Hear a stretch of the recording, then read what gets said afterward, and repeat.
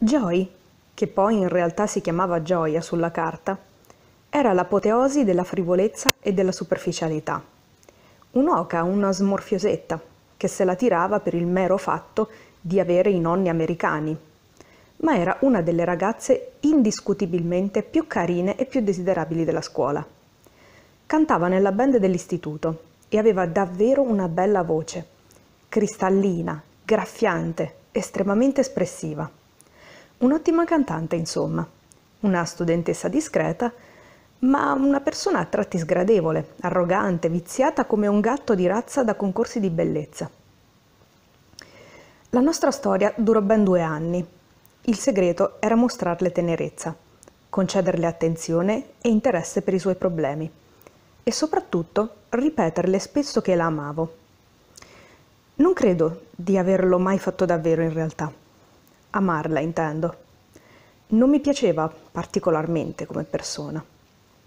La nostra relazione mi sembrava solo un impegno in più, quasi un lavoro part-time. I dettagli della sua vita non mi interessavano davvero e soprattutto, durante l'estate fra il quarto e il quinto, scoprii che non mi piaceva fare l'amore con lei, sebbene la trovassi oggettivamente carina e attraente. L'unico motivo per cui perseveravo ostinatamente in quella farsa era l'avere una pur minima certezza della mia piena virilità. Ogni volta che il pensiero di Riccardo, le insinuazioni di qualche idiota o chissà cos'altro mi instillavano dubbi sulla mia eterosessualità, tutto ciò che dovevo fare era chiamarla, sperando che fosse libera. Se riuscivo a pomiciare con lei o ad andarci a letto, non c'era nessun problema e mi sentivo subito tranquillo, anche se totalmente svuotato nel cuore e nell'anima. Inoltre, il fatto che avessi una ragazza aiutava a restituire agli altri un'immagine di me più etero, soprattutto con una ragazza figa come Joy. Il fatto che non amassi particolarmente baciarla o fare sesso con lei, per quanto il contatto fisico in sé fosse comunque piacevole, non costituiva un grande problema.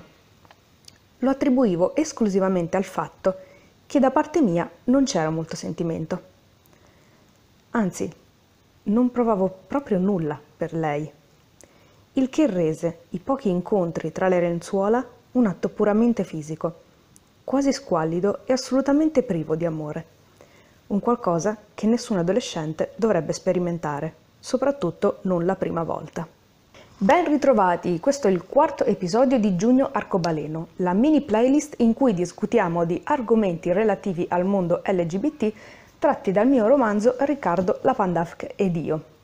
Se vi siete persi i precedenti episodi, rimediate subito andando a cliccare sul link che vedete scorrere qui sopra. Piccolo annuncio, visto che sempre più gente per, per, la verità, per il momento siete in pochi, però vedo che stanno aumentando. Viene a cercarmi su Instagram. Ho deciso di aprire un secondo account eh, dedicato ai libri, alla scrittura e a tutti i miei progetti.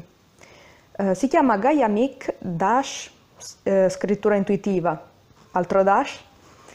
Eh, e se avete Instagram potete seguirmi o contattarmi lì. Ogni giorno pubblico almeno un post e qualche storia. Detto questo, cominciamo con la puntata di oggi, nella quale parleremo della repressione di tutte quelle parti di sé che sappiamo o temiamo che non verrebbero capite o accettate dagli altri. Come sapete se avete già letto il romanzo o guardato il primo episodio di questa playlist, ehm, il protagonista Victor fa fatica ad accettare la sua attrazione per un altro ragazzo. Ma non solo. Come abbiamo già detto implicitamente nella prima puntata, quella degli stereotipi, nonostante esistano infiniti modi di essere uomo e donna, ogni cultura tende a stabilire degli standard di mascolinità e femminilità e a guardare con diffidenza e disprezzo tutto ciò che non rientra in questi standard. Contrariamente a ciò che affermano molti conservatori, la cosiddetta famiglia tradizionale in realtà è un'invenzione molto recente. Così come i ruoli dell'uomo e della donna nella coppia e nella società sono cambiati molto nel corso della storia, Ad esempio, se lo stereotipo della donna di oggi è quello di una persona che non la smette mai di chiacchierare su qualsiasi cosa, eh, agli albori dell'epoca romana eh, alle donne era proibito o quantomeno sconsigliato eh, di parlare in pubblico o comunque in presenza di chiunque non fosse il marito, tanto che esisteva persino una dea del silenzio, tacita muta. La donna virtuosa era quella silenziosa. Oppure se alla notizia della morte del, di mm, Camillo Benso, conte di Cavour, alcuni in Parlamento scoppiarono in lacrime, Dante invece quando mm, si recò alla veglia funebre del, mm, del padre di Beatrice, non solo gli fu impedito di entrare, ma quando gli scappò qualche lacrima, si guadagnò persino qualche occhiata un po' stranita, eh, perché all'epoca la la cura, la veglia e anche il lutto per i morti erano considerati lavori da donna, diciamo, compiti della donna. Oppure se fino al secolo scorso l'istruzione femminile, se non era proibita, era comunque considerata non importante in molti, molti luoghi del nostro paese, oggi invece le donne sono mediamente più istruite degli uomini con il 60% dei nostri laureati che sono donne. E che dire poi invece di tutti quei mariti che scelgono di stare a casa a badare ai figli piccoli? Una cosa che solo fino a 10 o 20 anni fa era impensabile. Questa idea che uomini e donne siano più felici se possono fare ciò che vogliono o che non esistano attività esclusivamente maschili o esclusivamente femminili è una conquista molto recente. Una conquista che non abbiamo ancora realizzato del tutto e che non è mai avvenuta prima della storia. Questa è una, una delle principali peculiarità uh, della nostra cultura e della nostra società. Non tanto rispetto alle altre che esistono tutt'oggi, ma rispetto a come noi stessi eravamo uh, in passato. Tuttavia, come ho detto, questa è una conquista in progress, diciamo, e ancora non siamo arrivati a stabilire ehm, che ogni individuo è libero di mostrarsi come preferisce e di svolgere le, le attività che preferisce, qualsiasi esse siano.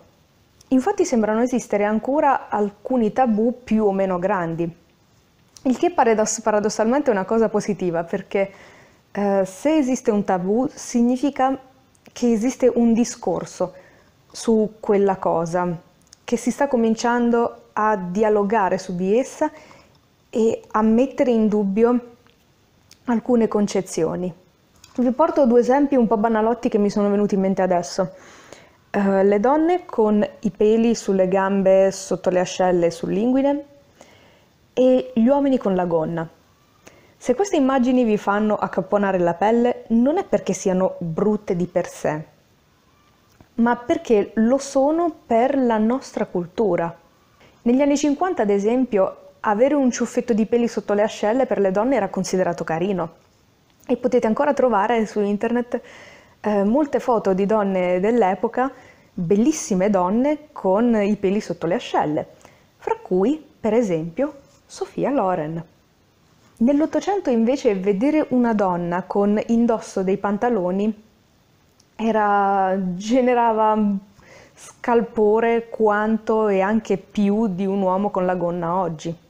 Insomma, non esiste un modo unico o naturale di esprimere la propria mascolinità, femminilità o assenza delle due.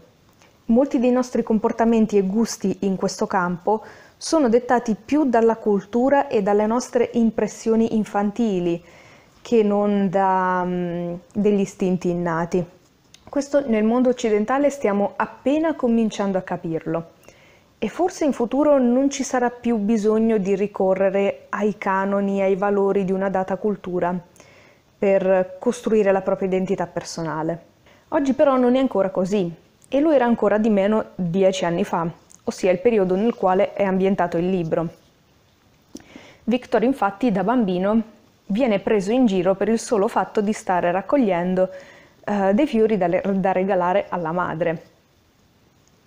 E mh, mm, questa esperienza eh, lo segna profondamente, unita mh, mm, alla raccomandazione, ma più che altro alla minaccia, eh, del padre di comportarsi da uomo, da vero, raga- da vero maschio, diciamo. Può sembrare una sciocchezza, ma quando si è piccoli basta davvero poco. A quell'età eh, la nostra mente è una spugna che assorbe avidamente ogni cosa che c'è intorno a noi. Um, si arricchisce costantemente di sensazioni e impressioni vividissime. Anche a me accadde una cosa simile e me la ricordo ancora oggi, anche se male perché non mi ricordo più dove ero e con chi. Comunque dissi che avrei voluto comprare una um, pistola a pallini e mi fu risposto che no, quello è un giocattolo da maschi. Io credevo che i genitori di oggi avessero superato queste, queste divisioni, queste idee un po' antiquate e invece qualche giorno fa ho sentito Shai raccontare, eh, Shai di Breaking Italy, eh, di aver sentito, di aver assistito a una scena molto simile il che è avvilente. E se poi queste lezioni di vita si ripetono nel corso dell'esistenza, nel corso dell'infanzia, ecco che hai creato una gabbia invisibile attorno al bambino. Ora qualcuno sembra sentirsi a proprio agio chiuso in quei confini, qualcuno è a disagio ma non se ne rende conto, qualcun altro invece è a disagio e ne è consapevole. In queste due ultime categorie, secondo me, rientrano tutti quei, tutti quei ragazzi o tutti quegli adulti che non riuscendo o non potendo uscire dalla gabbia, mettono in atto dei meccanismi e delle strategie di repressione. Il problema di questi meccanismi e di queste strategie però è che se non hanno degli effetti negativi soltanto su di noi, ma anche sulle persone che scegliamo di includere nella nostra vita. Victor infatti non si limita a fare del male a se stesso, non se la tiene per sé la propria paura, ma la sfoga sugli altri, su Riccardo bullizzandolo e con gioia sfruttandola per eh, tutelare o riaffermare la propria virilità. Ora, so che molti di quelli che hanno letto il libro detestano il personaggio di Gioia in parte posso anche dare loro ragione, però mettetevi nei suoi panni. Gioia è stata letteralmente oggettificata, sfruttata e ingannata da Victor, che nel momento in cui si pente di queste sue azioni, ormai è troppo tardi, il danno è già fatto, lei è già ferita. Il motivo per cui dobbiamo superare questo bisogno di farci dettare i nostri canoni da una qualche cultura a tal punto da farla assurgere a nostra identità personale è che questo può provocare dei danni a noi e alle persone che incontriamo, cioè fa male agli individui che a loro volta faranno del male ad altri individui. La cultura così diventa un modo per distinguere noi dagli altri, quelli che ci assomigliano da quelli che sono diversi e non diventa più uno strumento per arricchire elementi né tantomeno un insieme di simboli per tenere unita una qualche comunità. Quando parlo di cultura ovviamente non mi riferisco soltanto a quella artistica o letteraria, ma a tutti i modi in cui un popolo immagina o rappresenta se stesso. Cucina, moda, relazioni sociali, il modo di salutarsi, i ruoli di genere, il codice legislativo, la religione, tutto quanto. E noi non siamo la nostra cultura, noi siamo ciò che eravamo prima di essere influenzati da essa. Negli esseri umani c'è molto poco di vero, noi siamo per lo più un insieme di costrutti. Mamma mia, sto flashando, basta, chiudiamola qui. Nel prossimo episodio parliamo di bullismo, che so essere un argomento caro a molti ragazzi, anche perché Mm, persino nei luoghi della terra più progressisti, se sei un adolescente LGBT, quasi sicuramente ti è capitato di essere vittima di atti più o meno gravi di bullismo. Quindi sì, abbiamo già sfiorato l'argomento nei precedenti episodi, ma penso sia giusto dedicargliene uno a parte. Vi ricordo che giù in descrizione trovate tutti i miei contatti, compreso Instagram adesso, più un link per eh, ordinare il libro. Uh, iscrivetevi, commentate, lasciate mi piace, vedete un po' voi. Alla prossima. Ciao!